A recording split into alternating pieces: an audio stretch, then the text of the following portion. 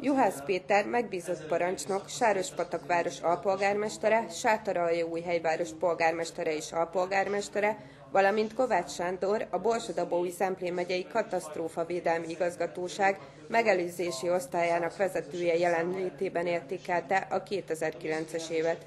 A számadatok azt mutatják, hogy a tűzoltóság valamennyi osztálya eredményesen zárta a tavalyi évet. Közepes év volt vonulási statisztikákban, tehát 455 eset számunk volt, ami az előző évekhez képest egy kis visszaesés, de hát mondjuk 2008-as évben volt ez a nyári zivataros káresemény, amikor jelentősen megnőtt az esetszámunk. Ez mindig adódhat bármilyen időszakban, tehát ez jelentős jelentősen emelheti az esetszámunkat. A versenyek tekintetében is eredményesen zárta a 2009-es évet a tűzoltóság. Az elmúlt évben sok versenyen vettek részt a sátoralja újhelyi tűzoltók. Nagyon támogatott a Szúnyog Zoltán tűzoltó százados úr annak idején minket a versenyek kírásában, az önkormányzat is bólintott minden egyes felkérésünkre.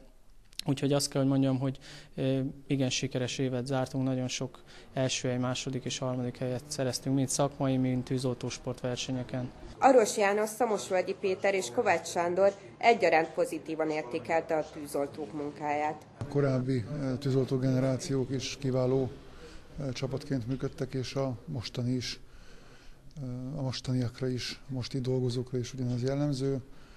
Az elhivatottság, a tenni akarás és a felkészültség.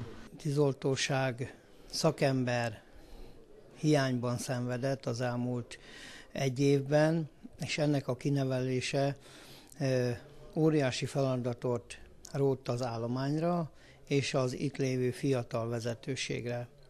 Én azt gondolom, hogy ezt a kis hiányt nagyon könnyedén és jól küszöbölték ki, és a most kialakult fiatal vezetés megfelelően tudja irányítani és koordinálni ezeket a tűzoltóságon jelentkező munkálatokat. Az állománygyűlésen számoltak be egy pályázat előkészítéséről, mely egy magasból mentő jármű beszerzésére irányulna, melyel középmagas épületekből lehetne menteni. Nagyon-nagyon drága beszerzésről lenne szó, 20-30 millió forint körül lenne az önerő, amit el kellene osztanunk arányosan, vagy létszám, vagy lélekarányosan a érintett térségben lévő települések között, hogy a önerőt hozzá tudjuk tenni.